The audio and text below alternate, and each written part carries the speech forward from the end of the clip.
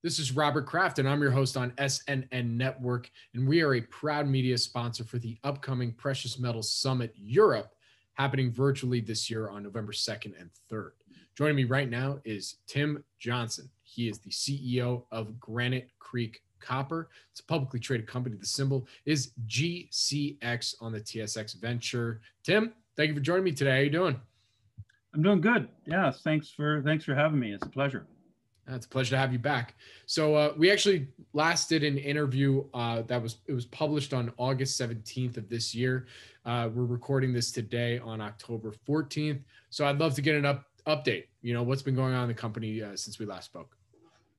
Yeah, well, at the end of August, we announced the uh, proposed uh, merger with our neighbor Copper North, um, which we think is going to be a major reevaluation for the company as we transition from an early stage exploration company to having measured and indicated resources and having combined the land, once we combine the land packages, um, really adding a lot of uh, potential to the uh, to the Carmacks story. Um, so that's we're pretty excited about that. Um, we've also just recently announced a financing where uh, we closed the first tranche of a proposed 2.4 million dollar financing. We closed 1.8 million. Uh, and we launched uh, our inaugural drill program on the Stu property um, with a focus on trying to uh, develop a plan to grow the resources that make sense to add to the uh, to the Carmacks story as we combine the two the two projects. So, so I have to follow up real quick on, on some of these items that you just mentioned. You know, were were all these things did they fit in the plan that you had for the company for this year?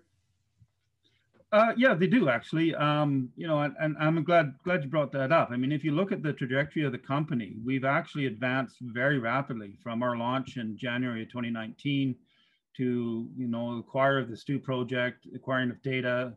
An initial 30% interest in our neighbor Copper North was uh, acquired in December of last year, and now announcing a further uh, combination of the two companies and and the drill program. So yeah, I mean, the, the, timelines are probably a little bit different than what we initially envisioned, but it is um, it is part of, of, of, what we're trying to do is, is a consolidation of the high grade Minto belt, um, putting these two companies together and, and putting the, the resources and potential and the team all in to, to develop a, uh, you know, a, a, a decent uh, copper exploration company.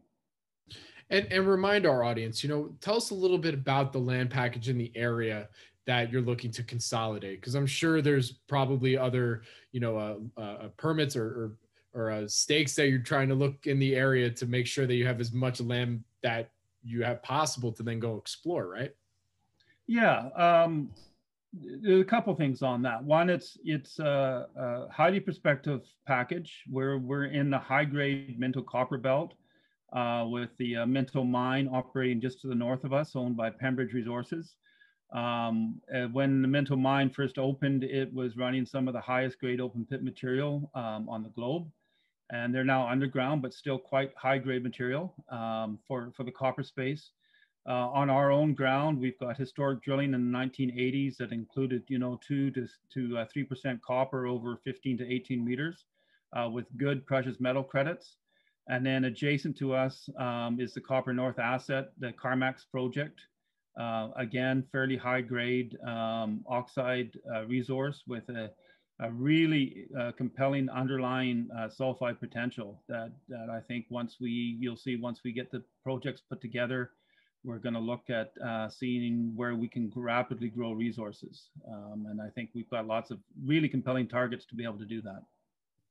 Very good. And so, you know, I asked you this question last time, but you know, I just wanted to see if we're on target with. Uh, uh, we talked about, uh, of course, from what you can tell us, we talked about value catalysts and growth drivers now moving forward. So, uh, are we still on that same trajectory for some of those value catalysts that you mentioned back in August? And are there any? Is there anything new that came up that maybe uh, investors should look for now moving forward?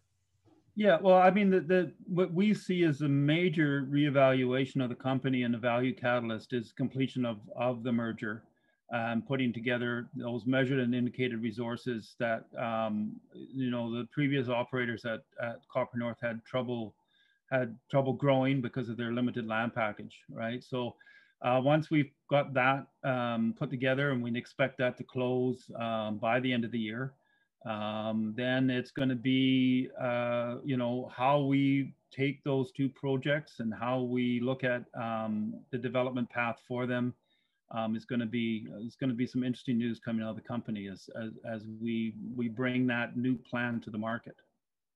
Very good. And where can our audience go and find more information about Granite Creek? Well, we're at www.gcxcopper.com. All right. Well, Tim, it's always a pleasure. Thank you for joining me today. Wish you guys the best of luck. Always stay safe. And I look forward to our next update. Thank you very much.